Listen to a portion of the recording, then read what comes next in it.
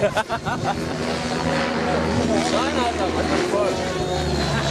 Hey, komm, lass doch mal uns her. Guck mal, wie massiv der ist.